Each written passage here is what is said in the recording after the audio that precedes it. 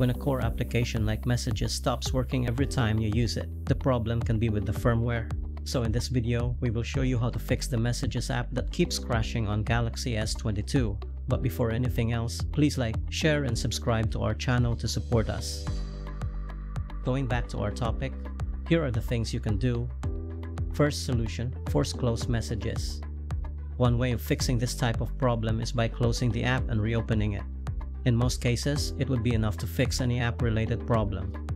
So to do that, tap the Recent Apps key to view the apps that are running in the background. Tap Close All to force stop them all at once.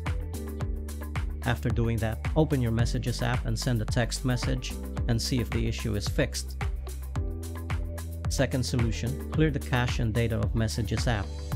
If the first method is unable to resolve the issue, the next thing that you should do is to troubleshoot the app. This time, you have to reset the app to replace its cache and data files. To do so, pull up the app drawer and tap the Samsung folder. Tap and hold on the messages icon until the options menu shows. Tap the app info icon.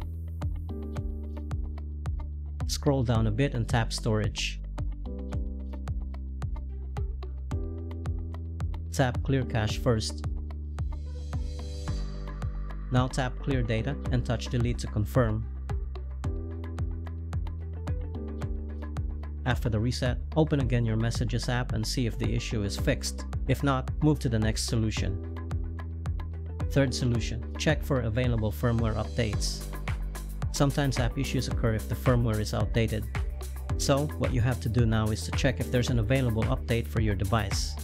Here's how you do that. Open settings and then scroll all the way down. Find and tap software update. Tap download and install to check for a new update. If there's an available update on your phone, then take a little time to complete the process. After that, launch the Messages app and see if the issue is fixed. Fourth solution, reset all settings on your phone. If all the procedures you performed are unable to fix the issue, then the last thing that you can do is to reset all the settings of your phone. Unlike the factory reset, this method won't delete your important files saved on your phone and it's effective in fixing app crashes. Here's how it's done. Open the Settings app on your phone. Scroll down and tap General Management. Tap Reset to view the reset options. Tap Reset all settings. Tap Reset settings to proceed. If prompted, enter your security lock. Tap Reset to reset the settings of your Galaxy S22. And that's what you need to do if the Messages app keeps stopping on your Galaxy S22. We hope that this troubleshooting guide can help you one way or the other.